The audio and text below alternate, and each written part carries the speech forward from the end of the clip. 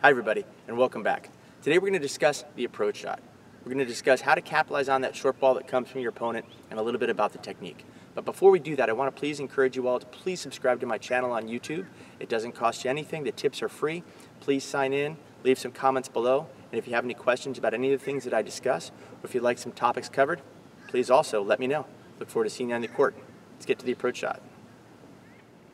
Okay, so when that approach shot arrives, it's very important to make sure that we capitalize on it, and first of all, that we don't let the ball drop too low. Assuming our strike zone is generally from mid-chest level to mid-thigh level, it's very important to try to catch that approach shot, if possible, in the upper end of that strike zone. If the ball drops too low, we're going to have to then hit up a little bit, and it becomes much tougher to hit that penetrating, aggressive approach shot. So number one, as we come up to that approach shot, we want to try to strike that ball the upper end of the register in the strike zone. It also takes the net out of the equation to a certain extent the higher we strike the ball. Next, very important with your hips and shoulders. As you come to that ball, I see a lot of players come up to that shot with the hips and shoulders straight on, and we usually pull that shot cross court or possibly hit it into the net. So it's important as you come up to that ball, make sure you get yourself sideways, loaded up this way, and there are a few different techniques you can use as far as footwork is concerned. We'll talk about those on another day, but again, important to make sure we come up to that ball sideways.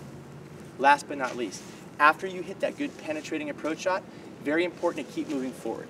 The intention should be that after you hit the approach shot, we're moving forward trying to strike the next volley if we can above the net so that we can hit the ball either off the court or hitting attacking volley to an area where the opponent's not standing, or if we're playing doubles, we might even hit that attacking volley to the net player.